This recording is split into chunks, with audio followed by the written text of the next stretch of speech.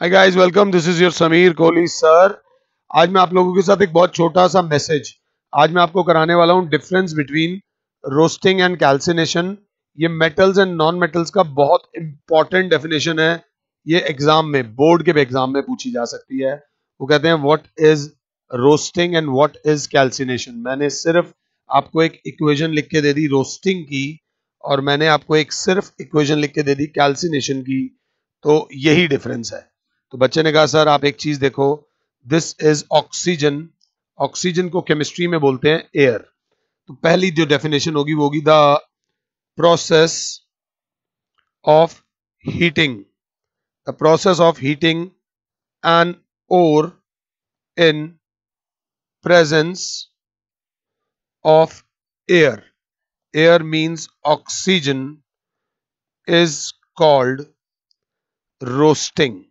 अगर ध्यान से देखो तो तो बच्चा कहेगा, वैसे तो यहाँ पर सिर्फ़ हीट है और कोई एयर नहीं दी गई तो बच्चा बोलेगा द प्रोसेस बात करो मेरे साथ ऑफ़ हीटिंग एंड और in absence of air is called calcination is called क्या बेटा?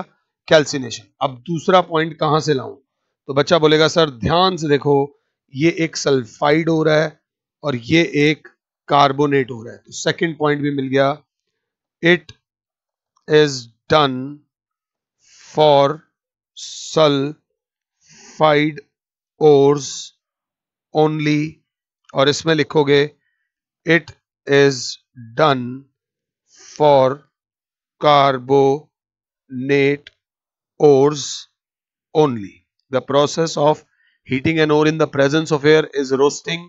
In the absence of air, is calcination. वो सल्फाइड ओर्स के लिए किया जाता है। ये कार्बोनेट ओर्स के लिए किया जाता है। बच्चे से मैंने कहा, यार, एक पॉइंट और मिल जाए तो मज़ा आ जाए। तो बच्चे ने कहा, सर, मिलेगा, ज़रूर मिलेगा। ये देखो, यहाँ सल्फ़र डाइऑक्साइड निकल रही है।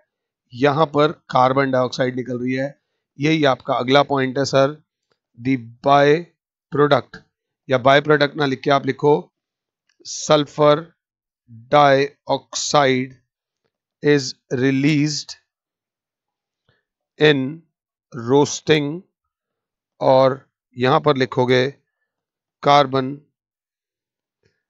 dioxide is released during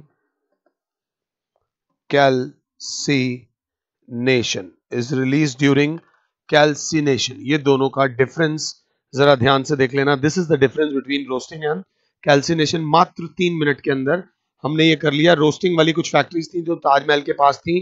Taj Mahal के पास थी, उनमें से सल्फ़र डाइऑक्साइड निकलती थी, जिससे ताजमहल की ऊपर की लेयर पे हल्का हल्का सा डार्किश सा कलर आ रहा था। तो उन्होंने वहाँ से उन फैक्ट्रीज को रिमूव करा दिया था। ये वैल्यू बेस्ड क्वेश्चन में भी आपसे पूछा जा सकता है।